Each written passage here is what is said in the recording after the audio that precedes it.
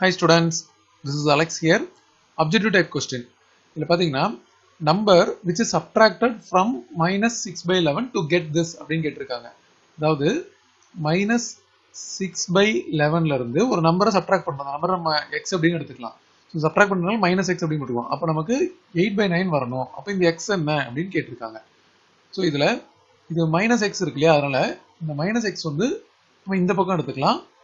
இந்த eight by nine வந்து இந்த பக்கம் எடுத்துகிட்டு வந்துடலாம் அப்போ என்ன ஆகும் நமக்கு? ஆல்ரெடி இங்கே மைனஸ் சிக்ஸ் பை லெவன் இருக்குது இது minus eight by nine equal இந்த எக்ஸ் அந்த பக்கம் போயிடுச்சுன்னா எக்ஸ் அப்படின்னு நம்ம போட்டுக்கலாம். ப்ளஸ் எக்ஸ்னு போட்டுக்கலாம். இப்போ இதோட சிம்பிளிஃபிகேஷன் காமன் டினாமினேட்டர் ஆக்கணும். So minus six by eleven into nine இது இன்ட்டு நைன் போடணும். Minus eight by nine into eleven into eleven அப்படின்னு போடணும்.